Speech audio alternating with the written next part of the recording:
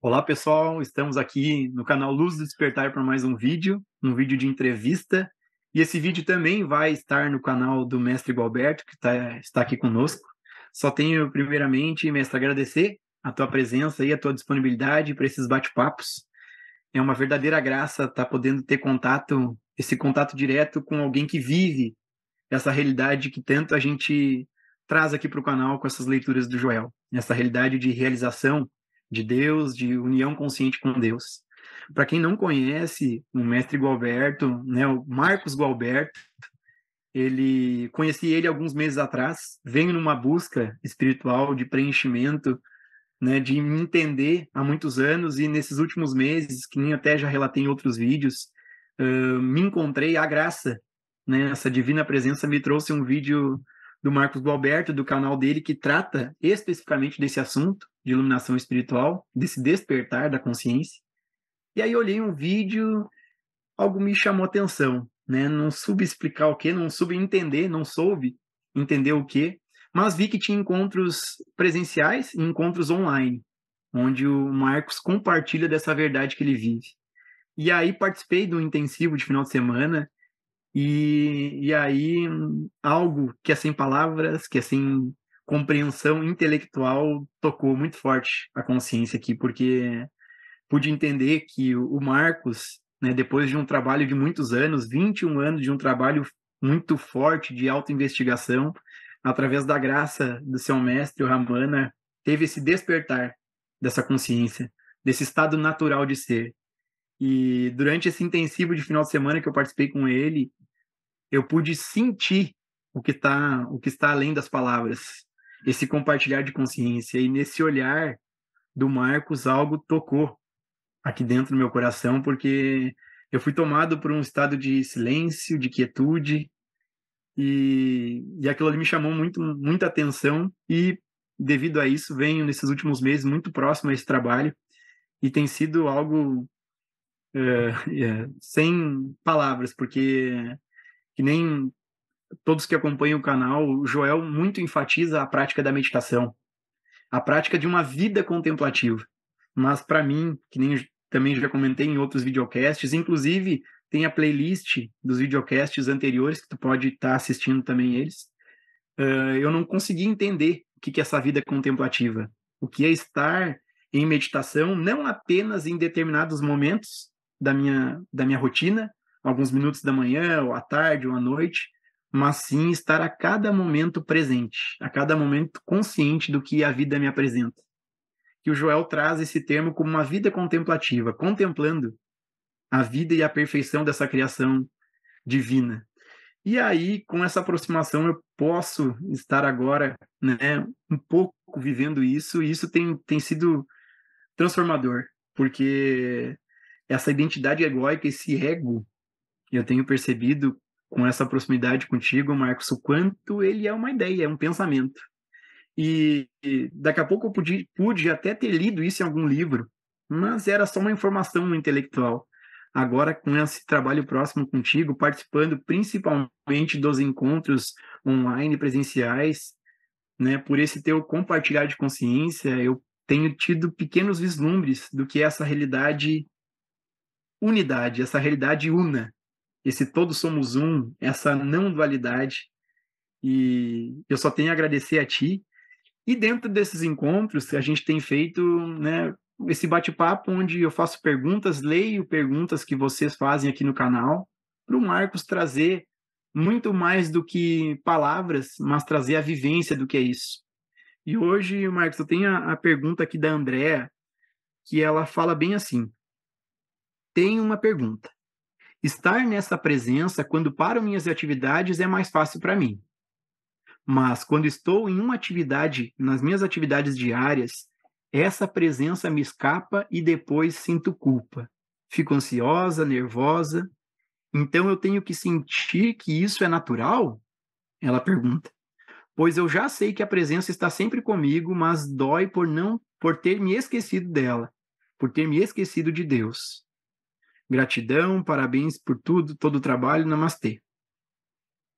Mestre, dentro dessa pergunta, né, eu passo a palavra para ti, falar um pouco para o pessoal que acompanha o canal, dentro das tuas falas, do que é essa meditação real, que conforme a Andrea comenta e é o que também acontecia comigo. Palavra contigo, mestre. Ok. Então vamos lá. O... A situação é a seguinte: nós temos que nos deparar com a vida como ela é, sempre. Nós não podemos idealizar aquilo que nós chamamos de estado de consciência ou de presença. Nós temos que ficar com o que se mostra. Se nós realmente queremos nos aproximar da verdade sobre quem nós somos, nós precisamos estar com, com o que se mostra agora aqui, nesse instante. O que é isso que se mostra? O que é isso que se apresenta? O que é isso que é agora aqui? Essa aproximação abre a porta para a realidade que transcende isso que é. Esse é o contato com a verdadeira presença, com a verdadeira consciência. Então, a gente não idealiza isso. Nós somos muito da imaginação, da crença, da conceituação. Eu tenho enfocado muito a importância de vivenciarmos isso. E quando você vivencia, você dispensa as palavras. Tanto as palavras do, do Gualberto quanto as palavras do Joel. E as suas próprias palavras, porque você está vivenciando algo que transcende a, a palavra, transcende a fala. Aqui eu me refiro a esta presença, a esta consciência. E você só tem acesso real a essa consciência, a essa presença, nesse contato com o que se mostra agora aqui. Então, eu tenho falado sobre a real meditação na prática. Essa real meditação na prática é estar cônscio de si mesmo, agora. Por exemplo, ela acabou de citar que quando não está no estado, sente culpa e dói. Esse momento de dor e de culpa é a porta. Então, se culpar, quem é esse que se culpa? E o que é essa dor? É nesse momento que você coloca consciência para o próprio estado. Então, se queremos acessar a verdade daquilo que transcende essa limitação de identidade egóica, nós só temos acesso a isso através da autoobservação e desse autoconhecimento daquilo que está agora aqui. E não de uma ideia de como deveria ser esta presença ou esta consciência. Então, nós temos que aprofundar isso vivencialmente.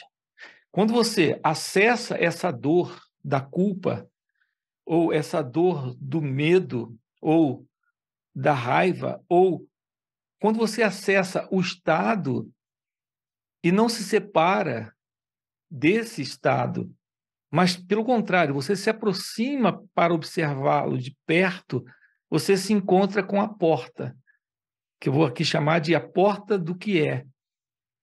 Essa, isso é o que é, e essa é a porta. Se você se aproxima e não se separa para julgar, para tentar se livrar, para tentar corrigir isso através de ideias e crenças, se você apenas fica com isso e não se separa da própria experiência, colocando um eu idealizado para se livrar da experiência, se você quebra essa separação, se você se desfaz dessa dualidade entre esse eu e o Estado, você tem a oportunidade de estar em contato direto com o que é. E isso é a porta para que esse sentido do eu desapareça nessa experiência. E quando isso desaparece, a experiência se desfaz. E você realmente cruza esse portal, cruza essa porta então, você está diante agora da realidade que transcende essa limitação, que é a limitação do que é.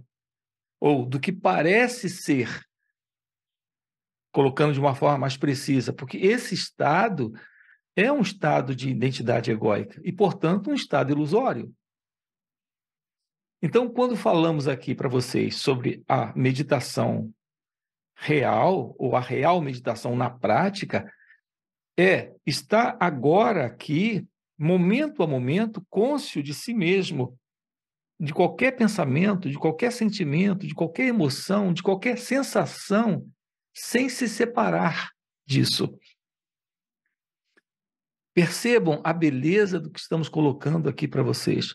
O problema, Gilson, que eu percebo é que colocando isso é até suave ou intrigante de ouvir.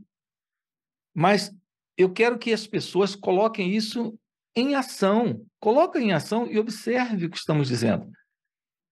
Quando você coloca em ação isso, quando você é, de verdade efetiva isso na prática, e não se separa da experiência, seja ela dolorosa, aflitiva, é de preocupante, enfim, não importa o estado que esteja se mostrando aqui, esse é o momento.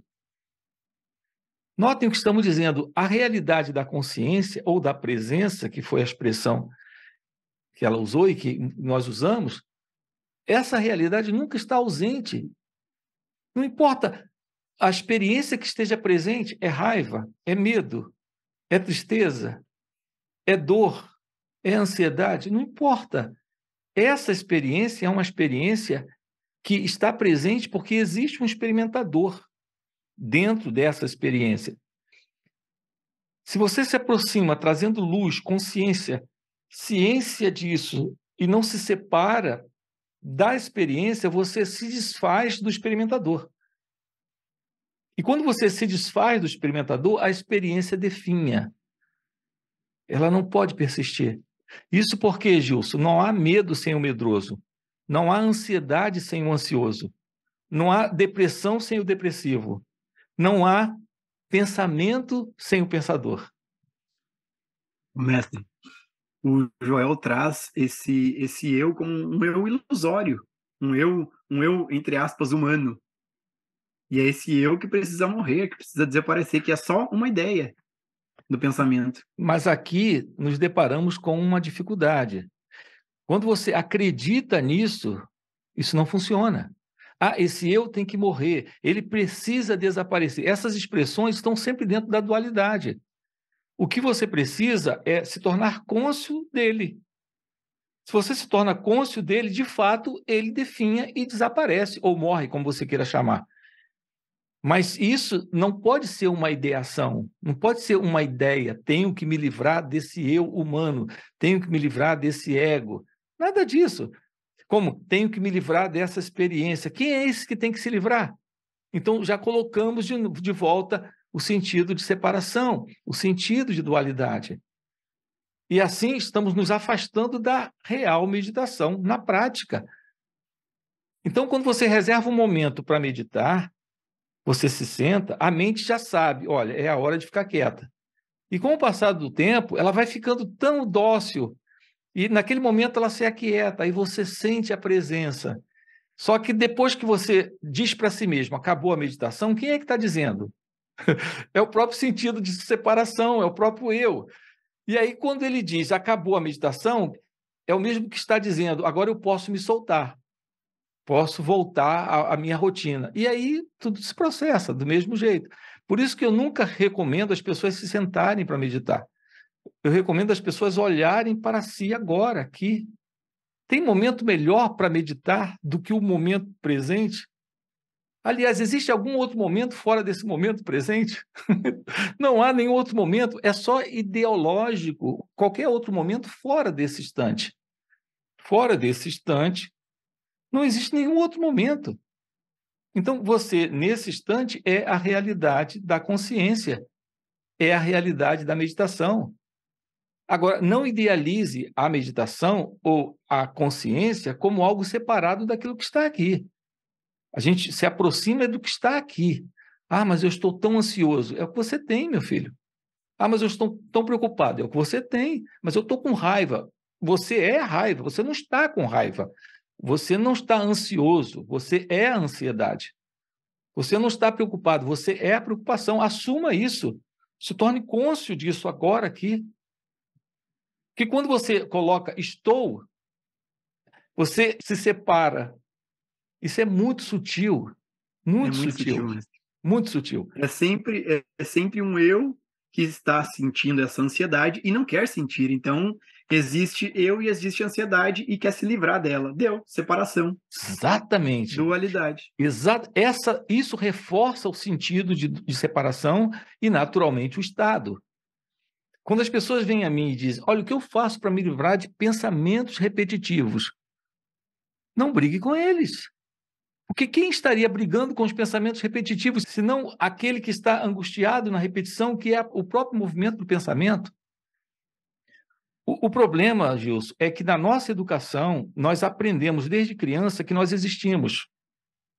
Então, eu existo, então eu penso, eu existo. E queremos então ser alguém, e queremos ser alguém na vida, queremos ganhar a vida. Né? Além Mas é disso. é com essa base que nós queremos ser alguém, porque acreditamos que existimos e que temos que evoluir, temos que realizar, temos que fazer. Nós não percebemos que a vida está acontecendo. E ela já está acontecendo por esta presença que faz tudo, não tem você. Então, desde pequenos, nós fomos ensinados dentro desse modelo. Eu existo, então eu sinto, eu penso, eu me preocupo, eu me aflijo, eu faço, eu tenho. É sempre eu. Eu tenho, eu faço, eu e o meu corpo, eu e a minha eu mãe. Eu sou assim, eu, eu sou, sou assado. Eu sou assim, eu sou assado, eu não quero, eu quero. Então, para efeitos práticos, objetivos na vida, o pronome eu, ele é funcional. Preciso escrever essa carta. Eu preciso embarcar nesse voo essa casa é minha. Então, para efeitos práticos, ok. Mas psicologicamente, quando colocamos esse sentido de um eu presente na experiência psicológica, estamos reafirmando uma fraude, uma ilusão. Porque esse próprio movimento psicológico é um movimento ilusório de uma identidade, assumindo um posto, uma posição. Todo sofrimento psicológico em nós em qualquer nível, está sempre a nível de um eu, para sentir, para viver, para experimentar aquilo e dizer: é a minha ansiedade, é a minha solidão, é a minha preocupação, é o meu medo. O mestre, interessante como mesmo na própria caminhada espiritual é muito fácil cair nessa armadilha dessa separação. Inclusive, eu, eu, vou, eu quero ler um trechinho, mestre, de um livro do Joel, que o Joel fala disso, nesse contexto uh, espiritual mesmo, inclusive com uma fala de, de, Jesus. Posso ler aqui, mestre? Sim, vamos lá. É. Ótimo. Uh, no livro Eu Místico, no capítulo 13, o Joel fala: Maravilha. Tudo que existe para você é esse eu. Não no sentido limitado do eu que você normalmente tem e que costuma admitir para si mesmo, mas o eu que você realmente é, o Filho de Deus, um com o Pai. Provavelmente o próprio fato de que o mestre fosse o mestre Jesus fosse hebreu ajudou a estabelecer essa separação entre pai e sua individualização. Porque Jesus imaginou, Jesus usou o imaginário hebraico do pai e do filho. E isso sempre nos faz pensar em um grande pai sábio e uma pequena criança imatura, uma dualidade. Na verdade, não podemos conceber um pai e uma criança como uma unidade. Vemos o pai e a criança e sabemos que são dois. Mesmo quando a criança está sendo carregada no ventre da mãe, a criança e a mãe ainda são dois. A criança é algo separado da mãe. Assim, essa imagem que foi usada no antigo ensino hebraico pode ser uma barreira, e às vezes é necessário nos afastarmos dessa imagem de pai e filho e aderirmos apenas ao eu. Eu e somente eu. Eu e a verdade somos um, eu e a vida somos um. Aí ele dá essa ênfase, como na questão espiritual ainda se tem, né? Eu e o Pai. Mas aí ele, frisa, é, é eu, Sim, Apenas sim, eu. sim. A gente aqui se depara com a dificuldade das palavras. A, a nossa linguagem toda ela é dualista. Não há como a gente usar a expressão eu sem colocar algo separado desse eu. Se tem o eu, tem o não eu. Então, você vê, ele termina falando de eu e a vida. Quer dizer, a gente coloca de volta sempre, não tem como, a gente está sempre colocando a dualidade na expressão. Por isso que hoje compartilho com aqueles que se aproximam a partir desta visão direta. E eu tenho encontrado minha própria linguagem para colocar isso e tenho visto a dificuldade que nós temos, porque quando você escuta alguém falando, tem alguém dizendo e você ouvindo. Então, o, o, nós vivemos dentro desse princípio de separação, dentro desse princípio de dualidade. Como eu disse agora há pouco, a nível físico, a nível prático, a gente faz uso, não tem como, a gente está num, num, num sonho de mundo onde tudo acontece nessa dualidade aparente. Mas o problema é internamente, psicologicamente, esse é o problema. A realização daquilo que você é é o fim desse eu psicológico, com esse tempo psicológico, com esses valores de princípios de dualidade. Tudo isso é psicológico. E é isso que se desfaz na realização. Você continua tendo um corpo e usando o pronome eu após a realização. Só que você não se confunde mais com o corpo e nem coloca nesse eu um poder de se separar da experiência para ser o dono de qualquer coisa. Dono da tristeza, dono da ansiedade, dono do medo, dono do desejo, ou dono de coisas materiais. Isso desaparece quando você se torna cônscio de que a única realidade, isso não é teórico. Notem, isso não pode estar na teoria, Gilson, não pode estar no conceitual, isso tem que estar sentado. Seus olhos têm que olhar sem o sentido de separação. O pensamento, quando aparece, tem que ser visto sem alguém pensando.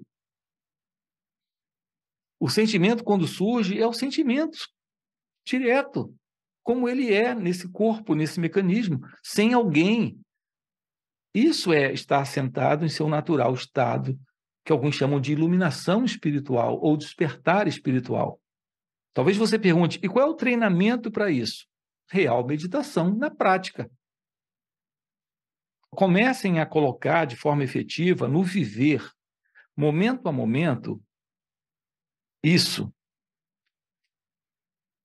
Quando alguém lhe elogiar, observe o elogio, mas não entre na experiência do elogiado. Se alguém te dá um elogio, você observa o elogio. Meneie a cabeça, até agradeça pelo elogio, mas não coloque uma identidade presente, se inflando, se separando do elogio, criando esse elogiado em você, você vai se sentir especial. O sentido do eu vai estar presente. Isso é a ausência da atenção sobre si nesse instante, a ausência da meditação.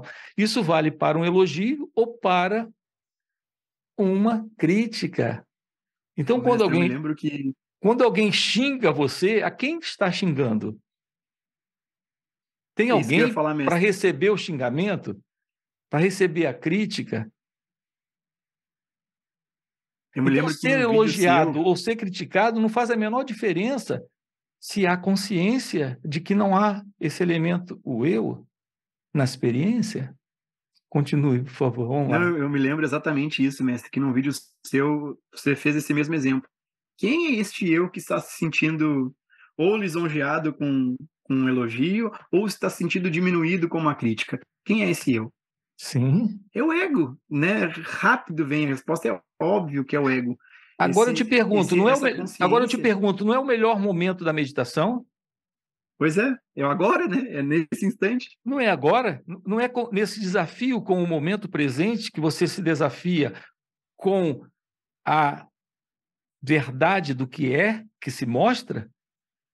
Exatamente. Você está no seu quarto meditando, numa luz suave, numa músicazinha. Não tem isso. Tem que estar no viver, no dia a dia. No dia a Você dia. tem que se no encontrar dia dia. no dia a dia. Essa autoobservação, né, mestre? Aí, que nem eu acho que eu comentei num, num outro videocast, como é interessante, para mim, falando de mim, como existia uma inconsciência muito grande. Porque o tempo inteiro o ego dando pitaco, julgando isso é bom, julgando isso é mal. Quem é esse que julga que isso é bom ou mal? É essa ilusão de, um, de uma identidade presente que quer isso ou não quer aquilo.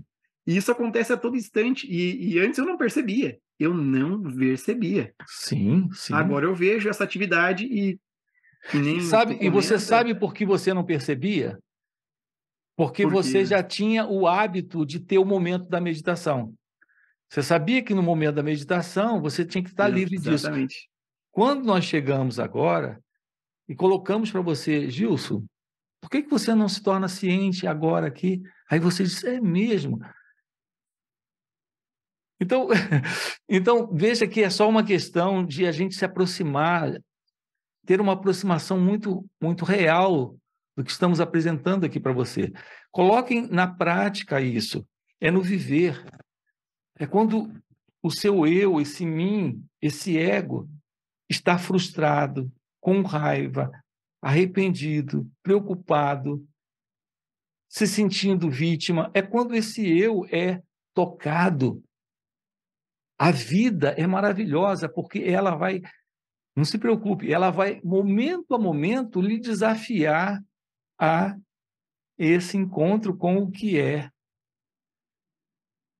Você vai perder isso muitas vezes por falta de uma habilidade que vai vir com o exercício, que é a habilidade de estar olhando para si.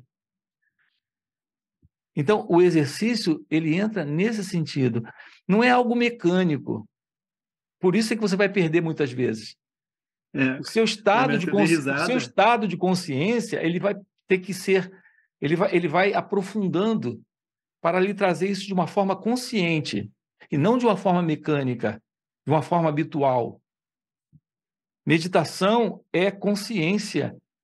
E isso, quanto, quanto mais você se rende a esta presença, a esse exercício, mais essa consciência vai assumindo o lugar dela e lhe trazendo isso de uma forma presencial, em pura consciência. Não é automático, não é mecânico. Ah, mas eu caio muitas vezes. Não tem problema. Você vai cair muitas vezes. Você só se levanta de novo, É. olha de novo para isso. É engraçado que nesses meses, acompanhando no início, quando eu comecei a né, eh, exercitar isso, eventualmente eu me dava por conta, quando era uma coisa mais mais forte, assim, eu tinha, então, sentia uma raiva, algo mais forte, eu me dava por conta, opa, ah, opa, passou, opa, foi, e, e eu, não, mas vai ter oportunidade, daqui a pouco tem outra oportunidade, daí, daqui a pouco vinha mais uma oportunidade, sempre quando era algo, algo mais palpável, assim, mais forte, e agora eu percebo que que é mesmo coisas bem sutis. Já já percebo aquele conflito, já percebo aquele desejo. E quem é que está desejando? É esse eu humano, essa identidade. Então fica muito mais sensível essa percepção. Sim, sim. Sabe por que fica mais sensível? Porque a dor da contradição, do conflito, fica mais visível. Mais Porque, a princípio, exatamente. somos muito embotados, somos muito insensíveis. A- o, estado, o estado de conflito psicológico que o ser humano vive, ele é de tal teor de inconsciência que ele nem percebe o quanto ele está sofrendo. E o quanto ele está produzindo sofrimento à sua volta. Na razão em que você se aproxima disso, você vai, ficar, vai ficando sensível a essa dor dentro. Porque você vai se tornando cônscio de si presente, consciente. Esta consciência vai se aprofundando, ela vai tendo espaço para assumir esse corpo-mente. E aqui a gente entra já em outros pormenores. É quando começa a acontecer o despertar desta energia que é Kundalini. Isso é um assunto dentro desse contexto que eu tenho falado também no canal. De outra forma, não tem nada de Kundalini. O pessoal faz uma viagem por aí. Ah, eu tive uma experiência, eu vi não sei o quê, eu senti isso, senti aquilo. Não tem nada a ver com Kundalini. Kundalini é o despertar da consciência, da sensibilidade desta presença.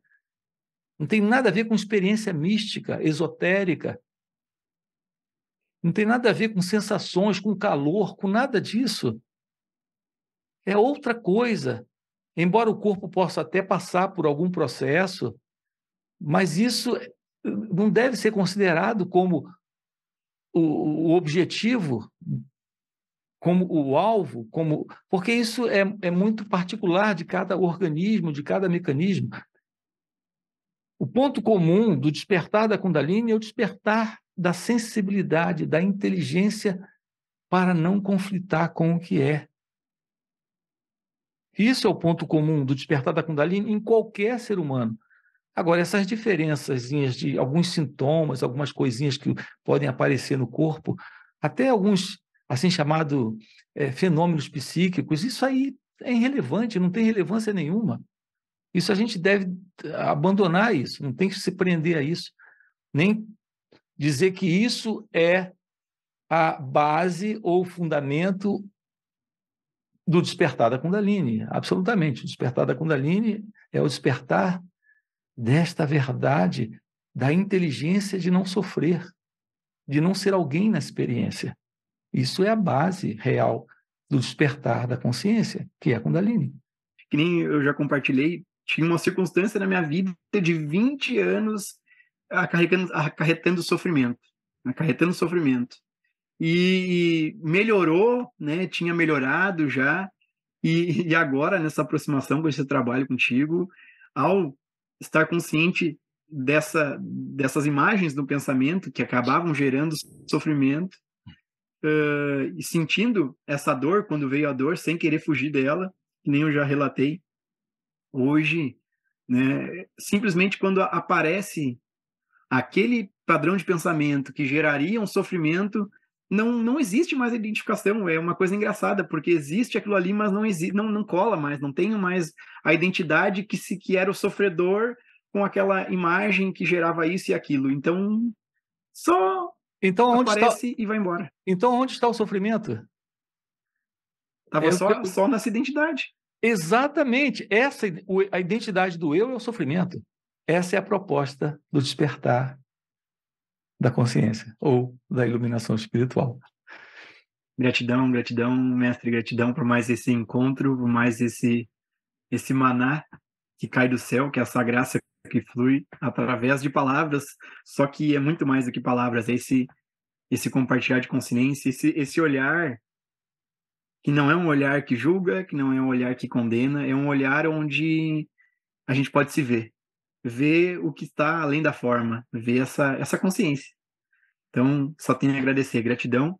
Pessoal, curtam aí o vídeo, comentem, podem trazer perguntas para a gente ir trazendo elas nos próprios, próximos encontros. Aqui na descrição do vídeo vai estar tá, uh, link, o link da playlist com os outros encontros, então acessa aí para ver os outros encontros que tu ainda não assistiu. Gratidão, mestre Gilberto. Muito obrigado. Eu tenho visto alguns dizerem que estão despertos ou acordados ou iluminados, exatamente porque passaram em algum momento por algum tipo de processo como esse. Isso é uma grande viagem ainda egóica.